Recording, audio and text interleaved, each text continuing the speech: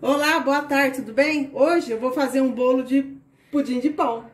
Então, eu vou colocar aqui, eu já passei margarina na forma e eu uso a de zero lactose. Por quê? Porque eu tenho intolerância à lactose, mas não dá nada não, pode fazer pra família inteira. Vocês vão pegar o pão e vão colocar aqui assim, ó.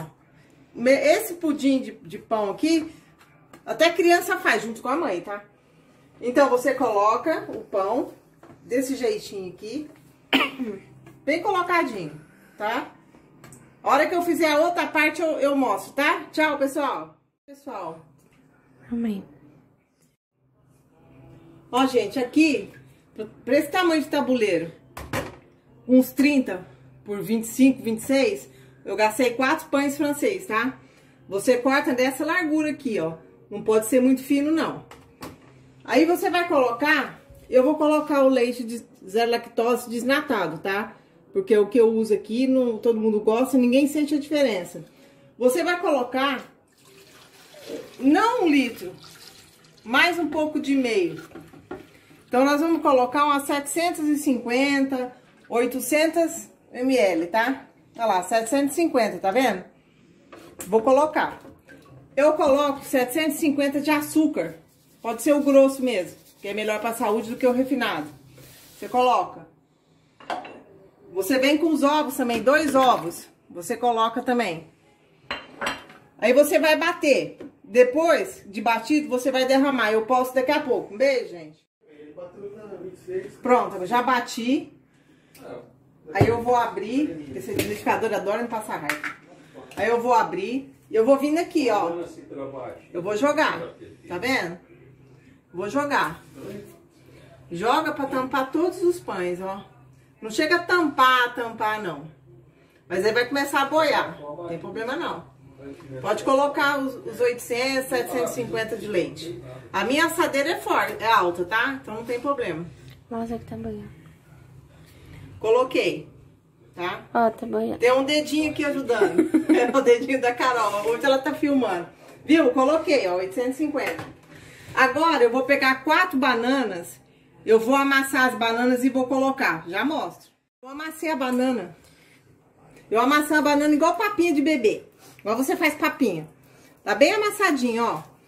Todo mundo, igual a Carol perguntou. Banana? Banana? Isso, pudim de pão com banana. É uma receita que a Mariana passou pra mim, que era da avó, da avó, da avó e caiu pra mim.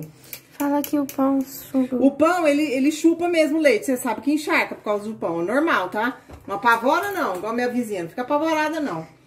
Aí você vai vindo, tá vendo? Você vai colocando. Coloca a banana aqui, ó. Aí você coloca. Se faltar de um, de um lado, você puxa do outro. Tá?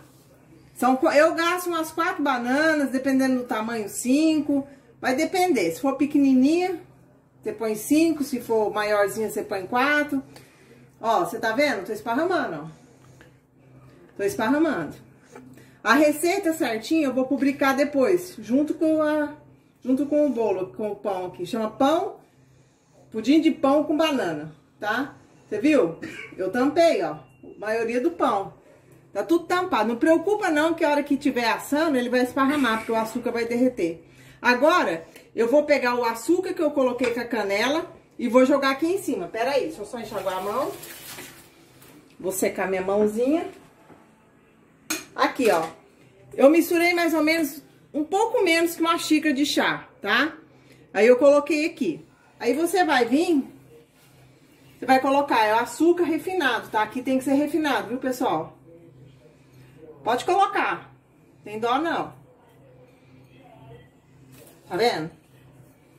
Coloca. Preocupa não, porque não vai ficar doce, porque você colocou. Se você quiser colocar meia xícara de banana lá, na hora que você bate com o leite e os ovos, beleza, coloca. Aqui eu coloquei uma xícara, mais ou menos uma colher de sopa de canela, tá? Agora, ele vai pro forno, ele vai ficar lá um, de 20 a 25, depende do seu forno. Você coloca no forno, ele vai crescer e na hora que você tirar ele, ele vai murchar. Mas não, não apavora não, tá normal. Aí depois você deixa esfriar, ele vai murchar, ele vai parecer um pudim. Então, é o pudim de pão com banana, canela e açúcar. Espero que você faça e goste, pessoal. Tchau, um beijo.